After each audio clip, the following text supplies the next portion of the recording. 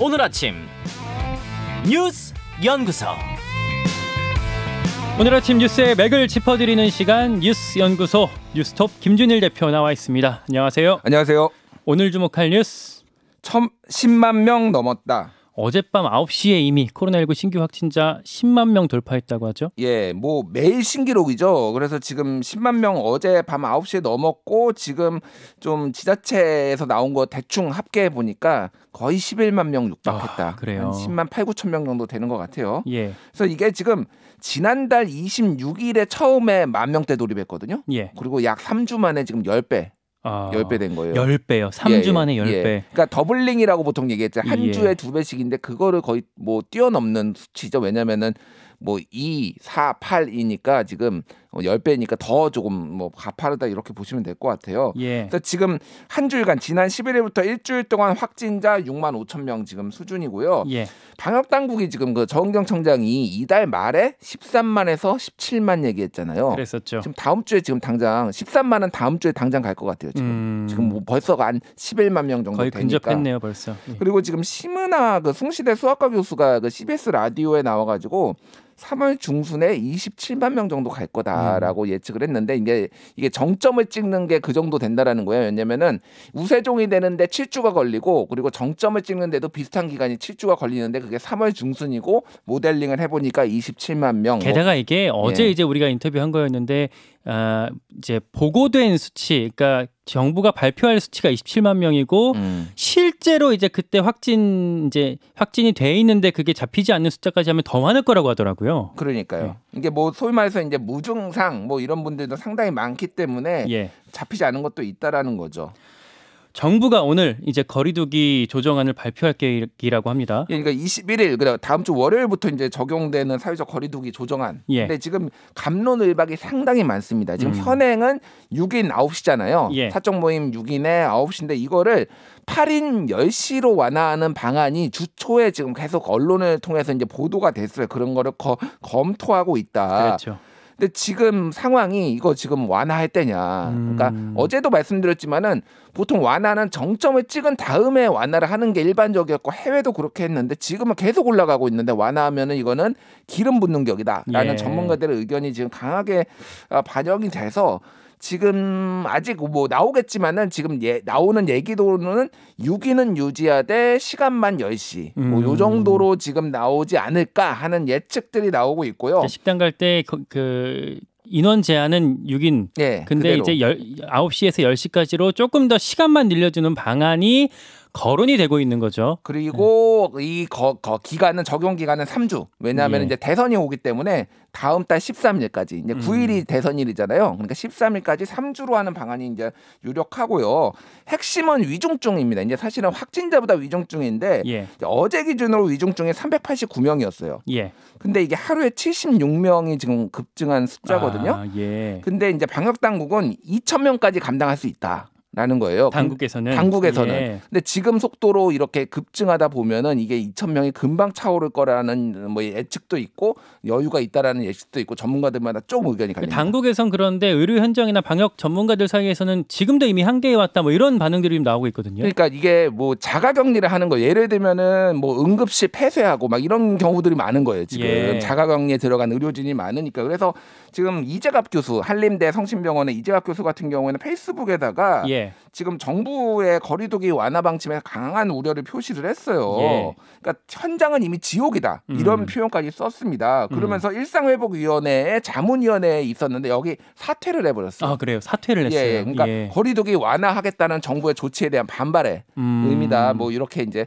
해석이 되고 있습니다. 음. 그래서 지금 엄중식 교수 같은 경우에는 페이스북에다 이제 짧게 글을 썼는데 예. 이 정점이라는 게 무슨 그 에베레스트산처럼 이렇게 한번 찍고 이렇게 음. 내려오는 게 아니라 파미르 고원처럼 될 거다. 그러니까 평평하게 오래 갈 거다. 음. 이 정점이. 음. 그거에 대해서 정부가 지금 방역 당국이 대책이 있느냐 이 얘기를 하고 있어요. 일단 오늘 거리두기 그 조정안을 좀 지켜봐야 될 것 같고요. 각자 일단 또 방역 수칙 철저하게 지키셔야 될 것 같습니다. 다음 뉴스로 넘어갈까요? 지지율 패닉. 지지율 패닉 예. 여론조사가 어제 좀 여- 여러 개가 발표가 났었죠. 그 중에서도 이제 특히 이제 화제가 된 게 하나가 있습니다. 예. 이게 뭐냐면 전국 지표조사라고 불리는데 NBS. 예, NBS, 엠브레인 퍼블릭, 케이스탯 리서치, 코리아 리서치, 한국 리서치 네 개 여론조사가 여론조사 회사가 정기적으로 매주마다 발표하는 거예요. 예. 이거의 특징이 뭐냐면은 자체적으로 하는 겁니다. 어떤 언론사 의뢰 이런 거 없이요. 언론 그 여론조사 회사가 하는 거기 때문에 상당히 신뢰가 있다라는 음. 거예요. 예. 그래서 이 조사가 이제 지난 14일에서 16일 그러니까 이번 주 월화수죠. 전국 만 18세 이상 남녀 1,012명을 대상으로 어, 여론조사를 했는데 예. 결과가? 결과가 윤석열 40, 예. 이재명 31. 음. 그래서 9% 포인트 차로 그러니까 이제 어, 오차 범위는 플러스 마이너스 3.1% 포인트니까 최대 6.2잖아요. 이게 지난주까지만 해도 35대 35로 동률이었던 거의 비슷했던 걸로 좀 기억을 하거든요. 35대 35였어요. 예. 근데 한 주 만에 동률에서 9% 포인트 차로 확 벌어진 겁니다. 아. 그래서 이게 왜 그렇냐면 또 이제 여론조사가 조사 방식에 따라서 약간의 후보별로 뭐 잘 나오는 게 있고 유불리가 있잖아요. 예. MBS 같은 경우에는 사실상 이재명 후보한테 좀 가장 잘 나오는 조사 중에 하나였어요. 이게. 음. 그래서 제가 기억하기에도 민 주당 인사들 사이에서는 어, MBS가 우리가 좀 주목하고 있는 여론조사다. 다른 것들은 좀 무시해라 이런 얘기들도 많이 했었거든요. 음. 그렇죠. 그러니까 이제 지지자들도 사실은 이거를 강제 굉장히 강조를 했었던 건데 한 번에 9% 포인트 차가 나니까 약간 음. 패닉이 왔다. 뭐 이렇게 아. 말씀을 드릴 수 있을 것 같아요. 예. 민주당에서는 이게 설문 조사 이 문항, 문항에 좀 문제가 있었다라는 거예요. 뭐냐면은. 어. 그러니까 안철수 윤석열 단일화 문항이 이제 중간에 들어가면은 예. 그 이재명 지지자들이 어, 이탈을 중도에 한다라고 합니다. 그런 경향성이 음, 있대요. 그게 뭐 별로 관심 없는 이슈여서 그냥 중간에 끊어버린다 이거 이런 건가요? 예, 관심이 어. 없는 이슈거나 뭐 이를테면은 어쨌든 뭐 그런 경향성이 실제 나타나는 게 다른 여론조사에서도 있었다라는 거예요. 음, 라는 게 민주당의 주장인 거죠 예, 지금. 예. 그리고 실제 여론조사 전문가들도 약간의 그런 경향성이 있다고 합니다. 예. 그렇기는 한데 이게 그렇다면 9% 포인트 차를 다 설명할 수 있느냐라는 음. 거예요. 그래서 국민의힘에서는 정권 교체를 원하는 민심이 드디어 이제 어, 나타나기 시작했고 민주당이 가장 유리하다고 봤던 그 조사에서도 이렇게 나온다. 이거는 음. 김혜경 씨 이런 뭐 배우자 법인카드 유용 논란 이런 게 지금 예. 드디어 이제 어, 제대로 하고 윤석열 후보의 진정성이 나타나는 거다 이렇게 주장을 하고 있는 반응이 상황이에요. 나오는군요. 예. 그리고 또 하나 어저께 지상파 방송 3사가 예. 또 발표를 했거든. 공동으로 조사를 한 거 처음이고요. 이건 다른 여론조사인 거죠. 그렇죠. KBS, MBC, SBS가 입소스, 코리아 리서치, 한국 리서치에 의뢰해서 15일부터 16일, 그러니까 화수죠. 예. 예, 전국 18세 나- 이상 남녀 2,006명을 대상으로 여론조사를 했는데 예. 윤석열 39.2, 이재명 35.2. 음. 이게 정확하게 4% 포인트 차인데 예. 2,000명이잖아요. 지금 조사한 게 2,006명. 예. 오차 범위가 플러스 마이너스 2.2% 포인트니까 최대 4.4예요. 그러니까 음. 오차 범위 안으로. 안에는 있는데 예. 거의 경계선 상에 있다 지금. 음. 그러니까 윤석열 후보가 오차 범위 내 접전이지만 앞선다라고 이제 해석을 할 여지가 있는 거죠. 음. 그 이거에 대해서는 역시 우사고 선대본부장 도 단일화 이슈가 있으니까 조금 우리가 불리했다 이렇게 평가를 하고 있습니다. 대선이 이제 오늘로 19일이 남았습니다. 어제 보니까 여야 이제 선대위에서도 난타전이 좀 한참 벌어지고 있던데요. 예, 지금 국민의힘에서 제기하는 거는 이재명 후보의 그 자택의 옆집에 경기주택공사가 전세를 받아 내 가지고 예. 합숙소 일종의 합숙소를 꽤 2년 전에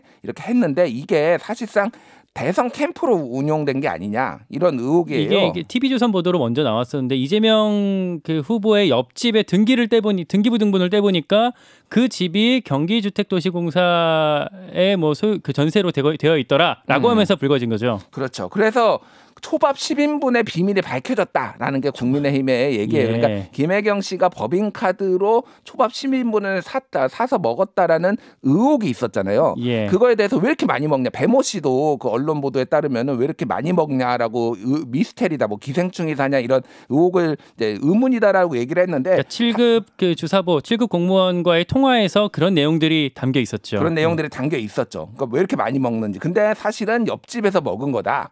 라는 이제 의혹을 국민의힘 측이 이제 제기를 음, 하고 여- 있는 두 거고 개를 연결한 거군요. 민주당에서는 사실 무근이고 예. 뭐 경기주택공사가 전세 낸 것까지 우리가 알아야 후보가 알아야 도지사가 알아야 되느냐 뭐 이런 음. 입장입니다. 그러니까 우연히 옆집에 있었다라는 거군요. 예 그리고 어, 민주당에서는 연예 지금 이제, 이제 그 건진법사 그리고 신천지와고의 그 어떤 유착 의혹 이거에 대해서 좀 밝혀라라는 예. 식으로 여- 연일 지금 어, 공세를 펼치고 있습니다. 어제 민주당 개신교 천주교 그 뭐 의원들이 그 공동으로 기자회견을 열어서 예. 뭐 압박하기도 했더라고요. 예 예. 아, 오늘 일부에서는 이 어, 말씀하셨던 그 상승세를 타고 있는 국민의힘의 입장 아, 잠시 후 이준석 대표를 연결해서 직접 한번 들어보겠습니다. 마지막 뉴스 속타는 17만 명. 속타는 17만 명 이건 예. 어디 얘기일까요? 예, 코스닥 시가총액 한때 2위였어요.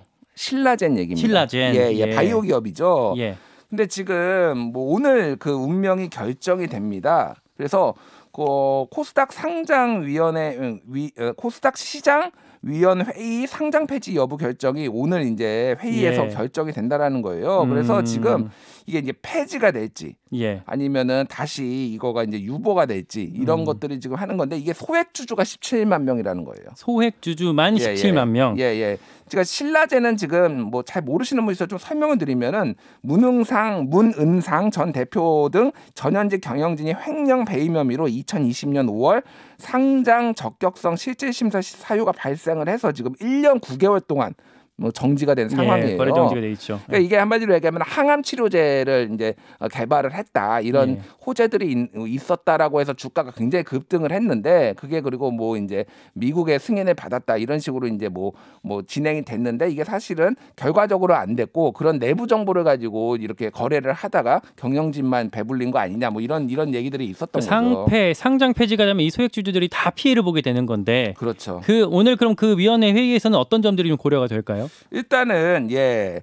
지금 뭐 이제 추가 개선 기간 부여를 할지 예. 거래 재개를 할지 상장 폐지를 할지 요 세 가지 중에 이제 결정을 해야 돼요. 그래서 회사가 제출을 합니다. 이를테면 음. 우리는 이렇게 개선을 하겠다.